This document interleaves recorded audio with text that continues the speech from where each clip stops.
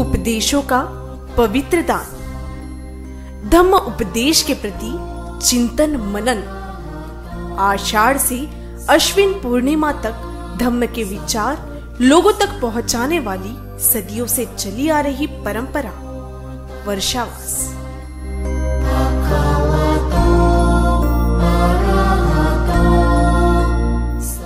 नमो तस् भगवतो अर्हतो सम्मा सम्बुद्धस्स नमो तस् भगवतो अर्हतो सम्मा सम्बुद्धस्स नमो तस् भगवतो अर्हतो सम्मा सम्बुद्धस्स बुद्धं शरणं गच्छामि। धम्मं शरणं गच्छामि। सङ्घं शरणं गच्छामि महाकारुणिक दुनिया के श्रेष्ठतम तथागत बुद्ध, भारतीय संविधान के शिल्पकार एवं बुद्धायन धम्मा ग्रंथा के निर्माते महामानव बाबा साहब अंबेडकर चक्रवर्ती सम्राट अशोक सभी महामानवों को मैं अभिवादन करता हूँ। उसी प्रकार युशियन बुद्धा देखने वाले सभी सभी को मेरे तरफ़ से नमो बुद्धाय, सभी का अभिनंदन करते हुए मैं अपनी धम्म देशना को शुरुआत करता हूँ। उसके पहले आप सबको मेरी ओर से और यूशन बुद्धा चैनल की ओर से, सभी उनके सदस्य की ओर से वर्षावास की शुभकामनाएँ। मैं इस समय वर्षावास के संबंध में आपके सामने कुछ बातें रखना चाहता हूँ।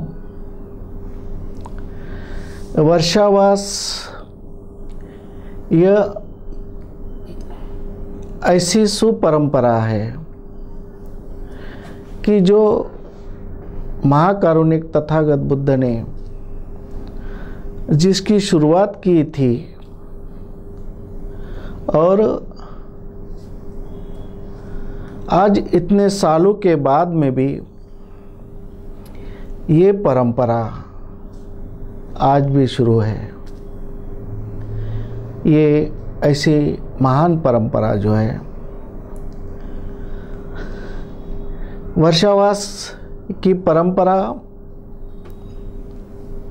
जितने भी बौद्ध राष्ट्र है, जितने भी बौद्ध भिक्षु है, हर भिक्षु हर देश में, हर राज्य में इस वर्षावास की परंपरा का पालन करता है। और जो भिक्षु है, वो वर्षावास, तीन महीने वर्षावास करता है। और उस समय तथागत बुद्ध के विचारों का प्रसार प्रसार करता है। वर्षावास उस समय तथागत बुद्ध के समय आषाढ़ पूर्णिमा से शुरू किया था। उनका जो पहला प्रबोधन हुआ था आषाढ़ पूर्णिमा को, उसको धम्मचक्र पवतन सुत पाली भाषा में कहते हैं। और आषाढ़ पूर्णिमा को धम्मचक्र प्रवर्तन दिन धम्मचक्र प्रवर्तन दिन का ऐस कहते हैं। ये वर्षावास इसलिए शुरुआत किया गया था कि वर्षावास के समय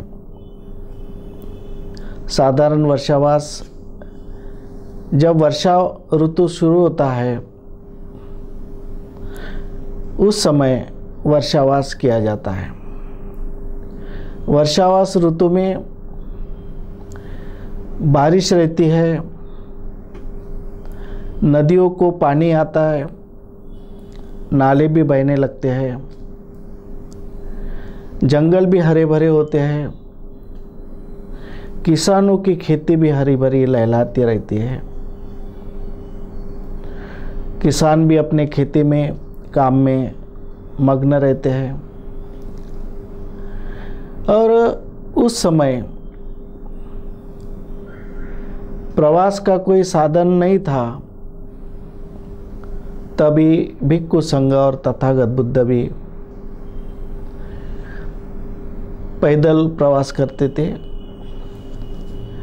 और पैदल प्रवास करने की वजह से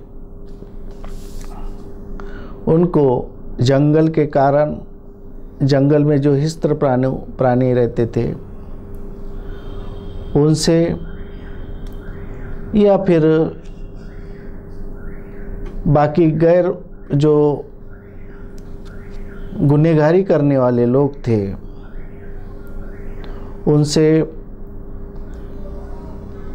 कुछ अघटित घटना, घटने का कारण बन जाता था।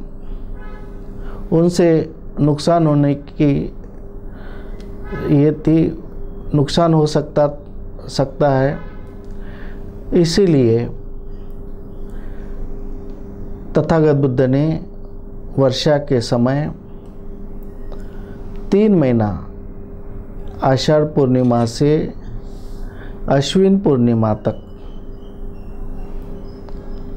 सात्यत्य से एक ही विहार में एक ही जगह रुकने के लिए तथागत बुद्ध ने कहा था। उस समय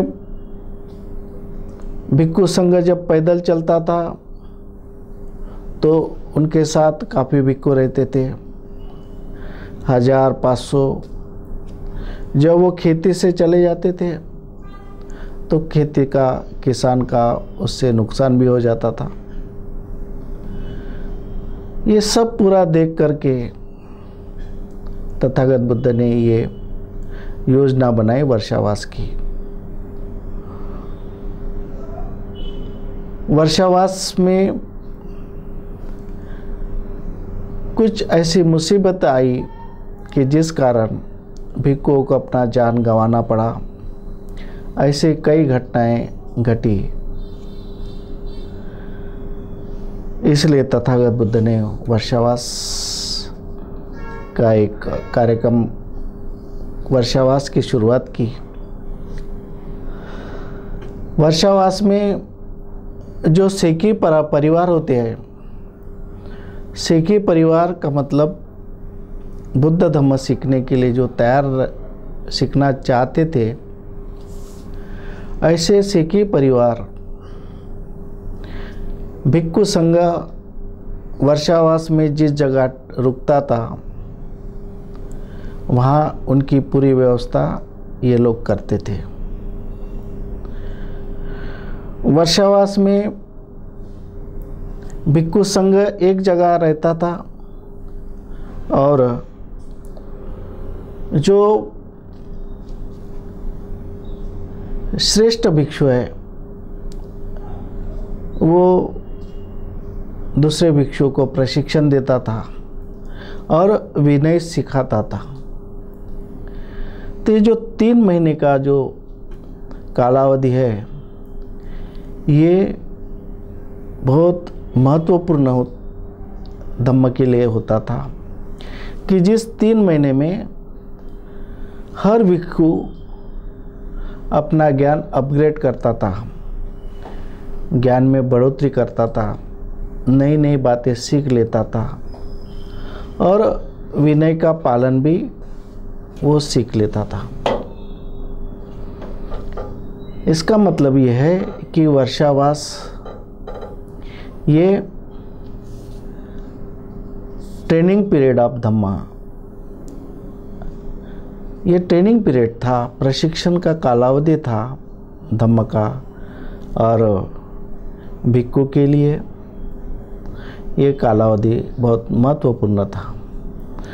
लेकिन जिस जगह वर्षावास में भिक्खु को प्रशिक्षण दिया जाता था, उनको विनय सिखाए जाते थे,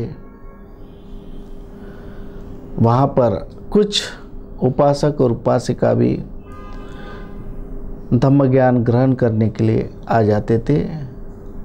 उसी प्रकार, उस भिक्खु संघ और उपासक वर्षावास में इकट्ठा एक जगह आकर के धम्म का ज्ञान ग्रहण करते थे। ये बहुत अद्भुत घटना थी, महत्वपूर्ण घटना थी वर्षावास में। और इसी को लेकर के एक जगह बैठ कर के हम धम्म को पढ़ा सकते हैं, लोग उसका ज्ञान ग्रहण कर सकते ये बात को लेकर के विश्वविद्यालय की बात सामने आई और उसी के कारण विश्वविद्यालय की भी शुरुआत हो गई है। इसलिए वर्षावास, ये महत्वपूर्ण है। आज भी वर्षावास होता है। अभी विहार उपलब्ध है। विहार में वर्षावास होता है। उस समय उपासक ज़्यादा तौर पे अभी इस समय में भिक्खु हर एक विहार में अलग अलग विहार में भिक्खु चले जाते हैं। और वहाँ भिक्खु के मार्फत वर्षावास होता है। तीन महीने भिक्खु उसी विहार में रहते हैं और धम्मदेशना देते हैं। तो उसमें उपासक और उपासिकाएँ भी वर्षावास में सम्मिलित होते हैं। वर्षावास के भागीदारी बन जाते हैं। तो इस समय मैं ये बताना चाहता हूँ, आप लोग अवश्य उसको समझे कि वर्षावास के समय उपासक उपासिका इन्होंने क्या करना चाहिए। वर्षावास के समय तीन महीने इन्होंने क्या करना चाहिए? किस तरह से इनका आचरण होना चाहिए, ये महत्वपूर्ण बात है। जिस तरह से रमज़ान महीने में लोग एक एक अलग तरीके का जीवन जीते हैं, एक पाक जीवन जीते हैं, पवित्र जीवन जीते हैं, उसी प्रकार श्रावण मास या हर एक धर्म के जो लोग होते हैं अपने अपने धर्म के अनुसार उस दिन पवित्रता का पालन करते हैं। उसको पवित्र दिन, पवित्र महीना, पवित्र समय कहा जाता है। उसी प्रकार वर्षावास, ये मानव जाति के लिए, मानव समाज के लिए पवित्र माना जाता है। ये तीन महीने का कालावधि। इसमें जो भी उसमें वर्षावास को मानने वाले लोग हैं, वो अपना पवित्र जीवन व्यतीत करने की पूरी तरह से कोशिश करते हैं। इसलिए मैं ये कहना चाहता हूँ कि उपासक उप और उपासिका जो वर्षावास में सहभागी होते हैं, उन्होंने अपना आचरण किस प्रकार करना चाहिए, इस बारे में मैं आपके सामने कुछ बातें रखना चाहता हूँ। जैसे वर्षावास में बौद्ध परंपरा के अनुसार हमें प्रातः काल में जल्दी उठना है। चार बजे से लेकर लोग शुरुआत करते हैं। कोई चार बजे उठता है, कोई पाँच बजे उठता है। लेकिन वर्षावास के समय जो भी वर्षावास ग्रहण करना चाहते हैं, वर्षावास को का वर्षावास के समय कुछ अच्छे विचारों को पालन करना चाहते हैं, उनके लिए आवश्यक है कि वो प्रातः काल में जागे। क्योंकि जो सवेरे का, जो प्रातः काल का जो वातावरण होता है, बहुत ही आह्लाददायक वातावरण होता है। पक्षियों की आवाज़ जैसे वो गाना कह, बोल रही है। सूरज का प्रकाश जो धीरे धीरे बढ़ रहा है। ऐसा एक मंगलदायक वातावरण होता है जब दिन की शुरुआत होती है। हर दिन हमारे लिए खुशियाँ लेके आता है। उस दिन का हम स्वागत करें और उस दिन को सवेरे उठ कर के हम प्रातः काल से वर्षावास में हम उसका पालन करने की कोशिश करें। तो सबसे पहला जो है कि वर्षावास में प्रातःकाल उठना चाहिए। जो भी वर्षावास में कुछ पालन करना चाहिए जैसे कुछ उपसत का पालन करते हैं। कुछ लोग वर्षावास में तीन महीने भी वर्षावास का पालन करते हैं। उसी लिए उन्होंने प्रातः काल में सवेरे उठना चाहिए। उठने के बाद एक घर का मंगल वातावरण हो। घर की एक स्वच्छता, साफ़ सफ़ाई, सुधरा घर होना चाहिए। घर में भी ऐसा लगना चाहिए, घर भी उस समय कि घर में एक आनंद निर्माण हो। आनंद जैसा लगे इस तरह से। वर्षावास के समय हमें घर के भी साफ़ सफ़ाई करना है। हमारे लिए सबसे बड़ा एक समय है, ये घटना है हमारी, बुद्ध धर्म की ऐसी घटना है कि जो सिर्फ़ तीन महीने हमें उस घटना को अच्छी तरह से लेना है, उस घटना में हमें अच्छी तरह से अपने कार्य को पूरा करना है। इसीलिए घर घर भी साफ़ सुथरा हो, बहुत ही अच्छे तरह से घर हो। घर का वातावरण भी अच्छा हो, वर्षावास के समय। घर का वातावरण, घर के लोगों का आचरण, ये अच्छा हो। घर में कोई कोई कला न हो, घर में हृदय की शुद्धता हो। हर कोई एक शुद्ध अंतकरण से, शुद्ध मन से, एक मिक से व्यवहार करे।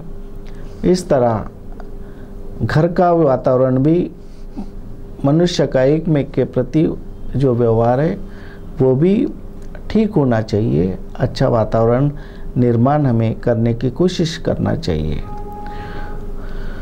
उसी प्रकार जो हमारे महापुरुषों की प्रतिमाएँ होती है मूर्ति होती है। वर्षावास के पहले हम मूर्ति को साफ़ सफ़ाई करें। हमारे प्रतिमा जो होती है, प्रतिमा को अच्छा साफ़ सफ़ाई करके हम उसको एकदम दीवार पे टांग, टंगे हुए न देखते, उसको न टांगते हुए, उसको एक जगह, ऐसी जगह रखे, उसकी स्थापना करें।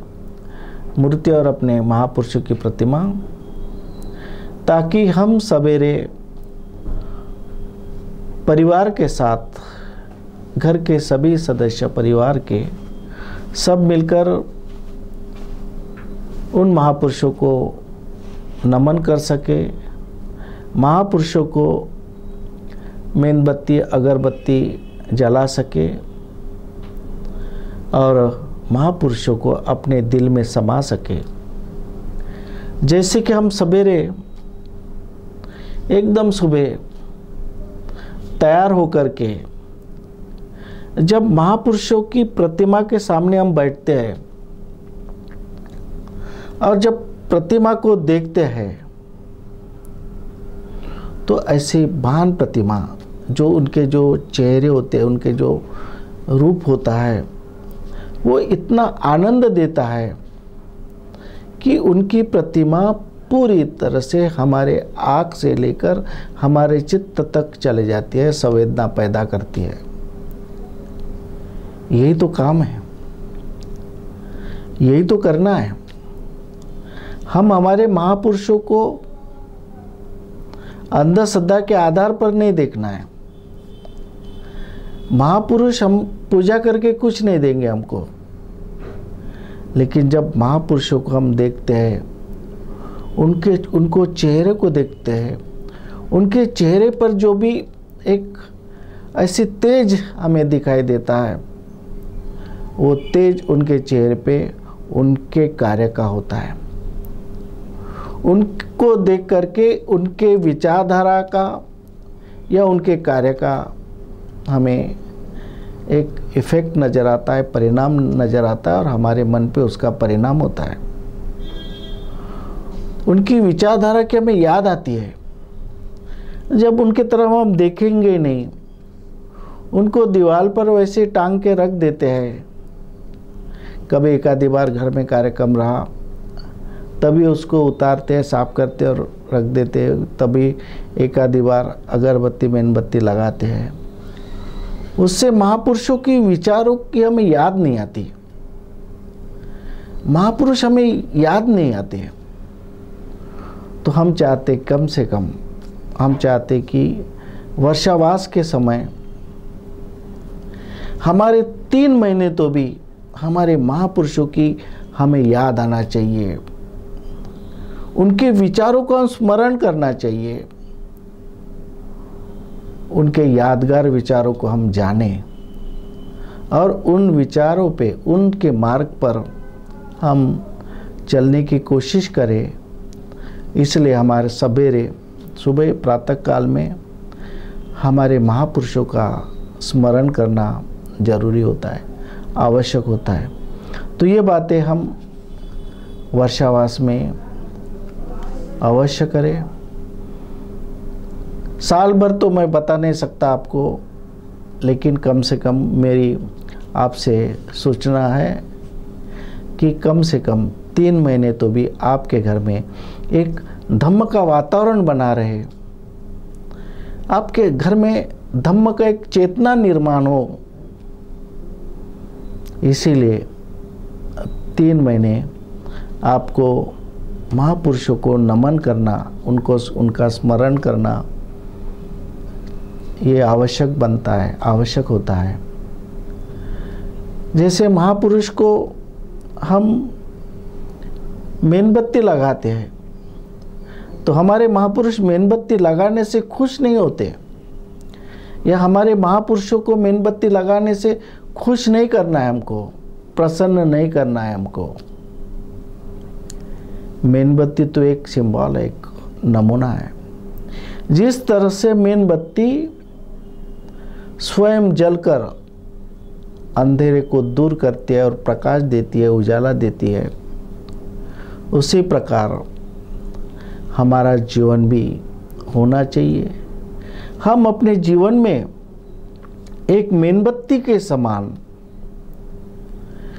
लोगों का अज्ञान दूर करने के लिए, लोगों को प्रकाशमान करने के लिए हम प्रयास करें। यही तो सीख हमें मेनबत्ती से लेना है।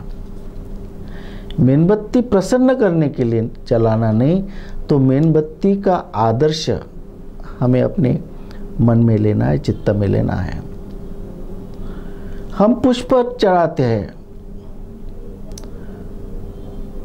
पुष्प इसलिए चढ़ाते हैं कि पुष्प जो है, वो दूसरे दिन मुरझा जाता है। लेकिन जब तक वो ताज़ा रहता है अच्छा रहता है, तब वो सुगंध देते, देता है और घर की शोभा बढ़ाता है। इसलिए आदमी का शरीर है। ये धीरे धीरे बुढ़ापे के तरफ़ जा रहा है। धीरे धीरे ये मुरझाने वाला है। लेकिन जब तक शरीर है, तब तक हम कुछ न कुछ औरों के लिए, दूसरों के लिए कुछ न कुछ कर सकते हैं और करने का साहस रखते हैं। यही तो सीख हमें पुष्प से लेना है। अगरबत्ती जलाते हैं। अगरबत्ती भी एक सिंबल है। जिस तरह अगरबत्ती स्वयं जलकर राख होती है, लेकिन वो जब तक इसकी राख नहीं होती, तब तक वो सुगंध फैलाती है। अपने जीवन का सुगंध फैलाती है। उसी तरह हम भी अपने जीवन में अपने शीलों का सुगंध चारों तरफ़ फैलाए, ताकि लोग जाने और आपका अनुकरण करें। जिस घर में शिलो की सुगंध होती है, उस घर का वातावरण आनंददायी बनता है। इसलिए प्रातः काल में सब परिवार के लोग इकट्ठा करके जैसा भी समय बनता है, जैसा भी समय आपको सुटेबल होगा, उस समय सब आकर के इकट्ठा करके आप अपने महापुरुषों को नमन करें, महापुरुषों को वंदन करें और उनसे कुछ सीखें। आप करेंगे, आपके घर में संस्कार निर्माण होगा, पैदा होगा, संस्कार तैयार होगा। आप जिस तरह से झुककर महापुरुषों को नमन करते हैं उसे देखकर आपके घर के छोटे छोटे बच्चे भी नमन करना शुरू कर देंगे और आपके घर में एक अच्छे संस्कार निर्माण हो गए, जो कि एक पीढ़ी दूसरे पीढ़ी को संस्कार देती है। तो हमें भी अपने अगली पीढ़ी को ये संस्कार देना आवश्यक है। तो इसलिए आप वर्षावास में इस तरह सा कार्य करेंगे, ऐसे मैं आपसे अपेक्षा रखता हूँ और इसी विषय को मैं आगे ले जाऊँगा। तब तक मैं अपना संबोधन यहाँ समाप्त करता हूँ। नमो बुद्धाय, जय भीम। उपदेशों का पवित्र दान। धम्म उपदेश के प्रति चिंतन मनन। आषाढ़ से अश्विन पूर्णिमा तक धम्म के विचार लोगों तक पहुँचाने वाली सदियों से चली आ रही परंपरा, वर्षावास।